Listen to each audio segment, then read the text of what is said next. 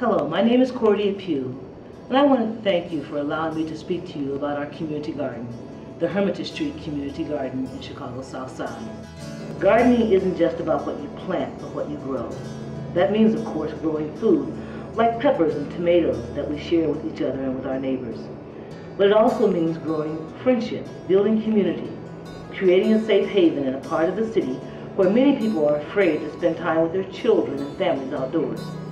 Our Hermitage Street Community Garden is in Chicago's Englewood neighborhood, a community that was victimized last year with 56 murders, many of them of young people.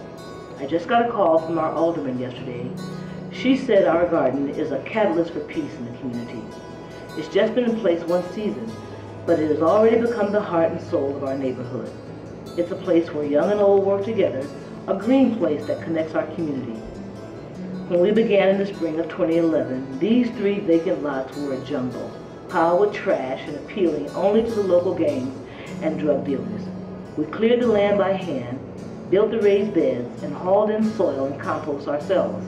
We got permission to farm the land from the landowner, a local nonprofit called Growing Home. And we got soil, other supplies, and training in garden organizing from Openlands, a nonprofit that supports community open space by midsummer, we had to jump back to get out of the way of those tall tomato and okra and bean plants.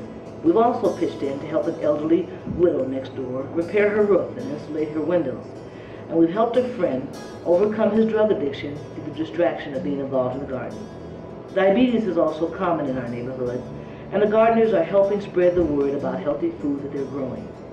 With your support, we could build nine new raised beds that are wheelchair accessible buy some low stools for some of our senior gardeners, and get some more tools with long handles so they don't have to bend over to do their weeding.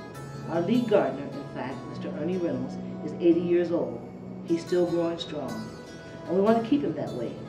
We're also hoping to add to the money we already raised to build an open-sided shelter where we can gather to share fellowship throughout the gardening season. Thank you for appreciating our garden. We invite each of you watching this video to become our partners too and help us keep this garden going and growing. And if you're ever in Chicago, do stop by the Hermitage Garden and share some homegrown food and Chicago hospitality.